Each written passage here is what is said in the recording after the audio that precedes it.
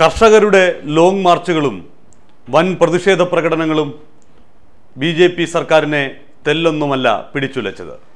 ആ കർഷക രോഷത്തിന്റെ ഫലം രാജസ്ഥാനിലും മധ്യപ്രദേശിലും ഛത്തീസ്ഗഡിലും നടന്ന തെരഞ്ഞെടുപ്പിൽ ബി ജെ പിക്ക് നേരിടേണ്ടിയും വന്നു. അങ്ങനെ കർഷക രക്ഷയ്ക്ക് വേണ്ടി ഇനി എന്തെങ്കിലും പാക്കേജുകൾ മുന്നോട്ട് വയ്ക്കണം എന്ന് കൊണ്ടുപിടിച്ച ചർച്ചകൾ ഒരു വശത്ത് നടക്കുന്നതിനിടയിൽ ഇതാ മറ്റൊരു വലിയ പ്രക്ഷോഭത്തിന് കൂടി രാജ്യം തയ്യാറെടുക്കുകയാണ്. അത് വിദ്യാർത്ഥി പ്രക്ഷോഭമാണ്. ഫെബ്രുവരിയിൽ ഇന്ത്യയിലെ ഒട്ടുമിക്ക വിദ്യാർത്ഥി സംഘടനകളും ഒത്തുചേർന്ന് ഒരു ലോങ് മാർച്ചിന് തയ്യാറെടുക്കുകയാണ്. വിദ്യാഭ്യാസ രംഗത്തെ കാവ്യവൽക്കരണത്തിനെതിരെ വിദ്യാഭ്യാസ മേഖലയെ തങ്ങളുടേതാക്കി മാറ്റാനുള്ള ശ്രമത്തിനെതിരെ.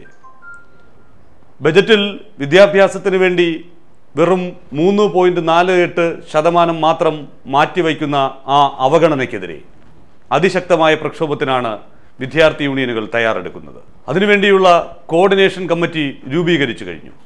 Mumbai TISS Pune film academy J N U Aligarh Muslim University Punjab സർവകലാശാല അങ്ങനെ രാജ്യത്തെ പ്രമുഖ സർവകലാശാലകളിലെ വിദ്യാർത്ഥി പ്രതിനിധികൾ ഉൾപ്പെട്ടത്. ഐസ പോലുള്ള വിദ്യാർത്ഥി സംഘടനകളുടെ പ്രതിനിധികൾ ഉൾപ്പെട്ടത്. കൂടുതൽ വിദ്യാർത്ഥി സംഘടനകളെ ആ കൂട്ടായ്മയിലേക്ക് അവർ സ്വാഗതം ചെയ്തിരിക്കുന്നു. രണ്ടായിരത്തി പതിമൂന്ന് രണ്ടായിരത്തി പതിനാല് വർഷത്തിൽ യു പി എ സർക്കാർ നാല് പോയിന്റ് ഏഴ് ഏഴ് ശതമാനം ബജറ്റ് വിഹിതത്തിൽ വിദ്യാഭ്യാസത്തിന് വേണ്ടി മാറ്റിവെച്ചപ്പോൾ കഴിഞ്ഞ തവണ അത് വെറും മൂന്ന് പോയിന്റ് നാല് എട്ട് ശതമാനം മാത്രമായിരുന്നു എന്ന യാഥാർത്ഥ്യമാണ് വിദ്യാർത്ഥികൾ ചൂണ്ടിക്കാട്ടുന്നത്. കോടിക്കണക്കിന് രൂപ പരസ്യങ്ങൾക്കായും വിദേശയാത്രകൾക്കായും പ്രതിമകൾ നിർമ്മിക്കുന്നതിനുമായും ചെലവഴിക്കുന്ന പ്രധാനമന്ത്രി എന്തുകൊണ്ട് വിദ്യാഭ്യാസ മേഖലയെ വേണ്ടത്ര ശ്രദ്ധിക്കുന്നില്ല എന്ന വലിയ ചോദ്യം അവർ ഉയർത്തുന്നു. ആ വിദ്യാർത്ഥി പ്രക്ഷോഭം ഇന്ത്യയിലെ കർഷകരുടേതുപോലെ തന്നെ യുവജനങ്ങളുടെ ഒരു വലിയ പ്രതിഷേധമായി അണപൊട്ടി ഒഴുകിയാൽ മോദിക്ക് പിടിച്ചു നിൽക്കുക എളുപ്പമാകില്ല.